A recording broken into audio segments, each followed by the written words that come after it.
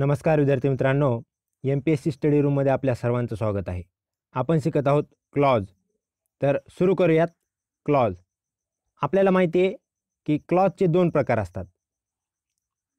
Main clause एक असतो आणि सबऑर्डिनेट क्लॉज एक असतो.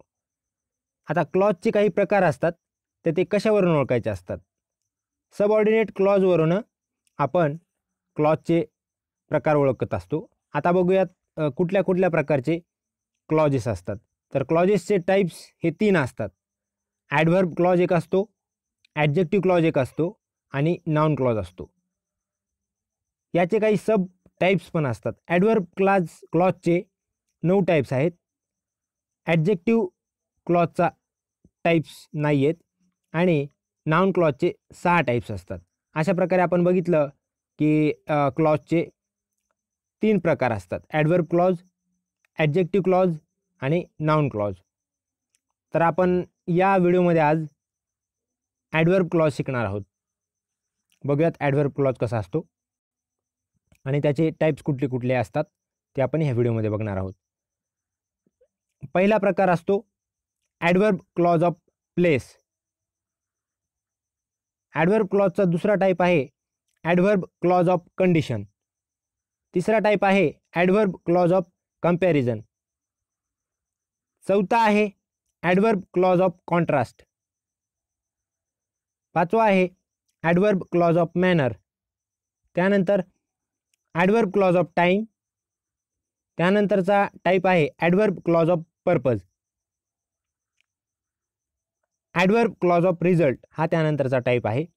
आणि त्यानंतर आहे ॲडवर्ब क्लॉज ऑफ रिझन शेवटचा ॲडवर्ब क्लॉजचा जो टाईप आहे तो आहे ॲडवर्ब क्लॉज ऑफ रिॲक्शन. अशा प्रकारे आपल्याला माहिती आहे की ॲडवर्ब क्लॉजचे नऊ टाईप्स आहेत. आणि हे कशा प्रकारे ओळखायचे ते आपण बघणार आहोत. तर या व्हिडिओमध्ये आपण फक्त ॲडवर्ब क्लॉज ऑफ प्लेस शिकणार आहोत. तर बघूयात ॲडवर्ब क्लॉज ऑफ प्लेस कसा ओळखायचा किंवा त्यामध्ये कुठल्या प्रकारचे एरर असतात. तर कीवर्ड लक्षात ठेवायचे आहेत आपल्याला.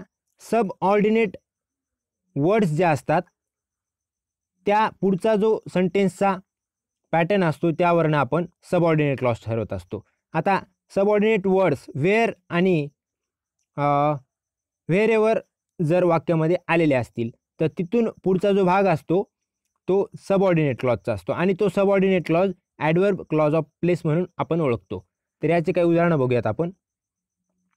पहिलं उदाहरण आहे he threw my bag spelling mistake झाली सॉरी बॉक्स झाले. बॅग आहे ते. व्हेअर द डट वॉज आता ह्या वाक्यामध्ये ही थ्रू माय बॅग हे मेन क्लॉज आहे. मेन क्लॉज आणि सबऑर्डिनेट क्लॉजचं आयडेंटिफिकेशन आपण मागच्या व्हिडिओमध्ये बघितलेले आहे. ज्यांना यांचं आयडेंटिफिकेशन माहिती नाही आहे त्यांनी तो कृपया करून व्हिडिओ बघावा. आता त्यानंतर वाक्याची रचना जी आहे ती व्हेअरपासनंची आहे. ते सबऑर्डिनेट क्लॉज आहे. म्हणजेच व्हेअर द डर्ट वॉज हे या वाक्यातील सब क्लॉजचं वाक्य आहे.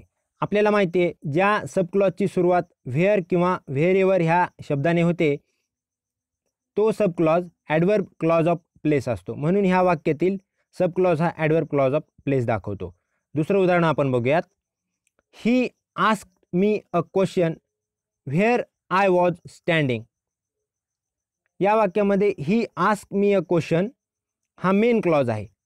आणि वाक्याची सुरुवात व्हेअरने झालेली आहे आणि व्हेअर हा सबऑर्डिनेट वर्ड आपल्याला ॲडवर्ब क्लॉज ऑफ प्लेस दर्शवतो. म्हणजे ह्या वाक्यापासनं ह्या वर्डपासनं वाक्याची सुरुवात झालेली आहे. व्हेअर आय वॉज स्टँडिंग हे वाक्य या ठिकाणी सबऑर्डिनेट क्लॉज दाखवतं.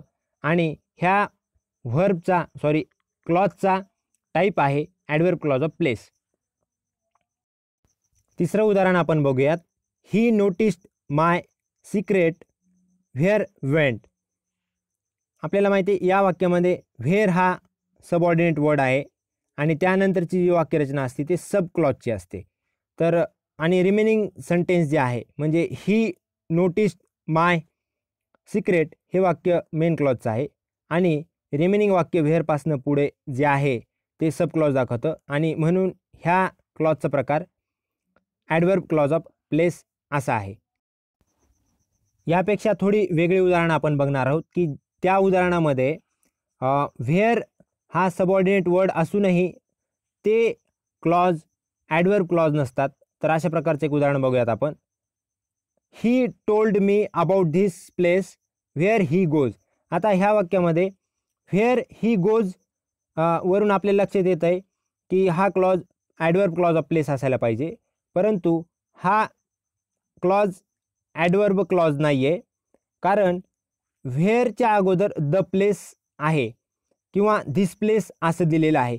धिस प्लेस प्लस व्हेअर ज्या वाक्यामध्ये असतं तर ते वाक्य ॲडवर्ब क्लॉजचं नसतं ॲडजेक्टिव्ह क्लॉजचं असतं. म्हणून ह्या वाक्याचा क्लॉज ॲडजेक्टिव्ह क्लॉज होतो.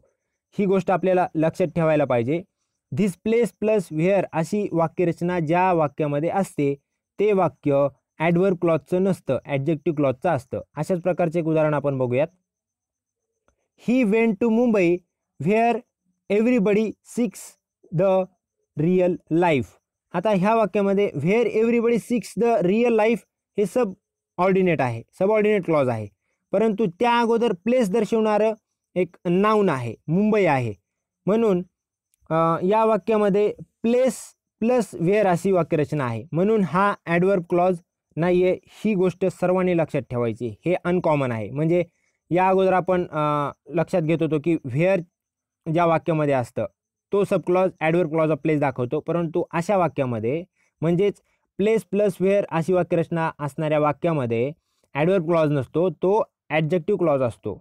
अशा प्रकारे आपण बघितलं आहे की ॲडवर्ब क्लॉज ऑफ प्लेस कसा ओळखायचा किंवा ॲडवर्ब क्लॉज ऑफ प्लेसच्या वाक्यामध्ये कशा प्रकारचे एरर्स असतात किंवा द प्लेस किंवा धिस प्लेस प्लस वेअर वाक्यामध्ये जर आलं तर तो ॲडवर्ब क्लॉज नसतो ॲडजेक्टिव्ह क्लॉज असतो. ह्या गोष्टी आपल्याला या व्हिडिओवरनं समजलेल्या आहेत.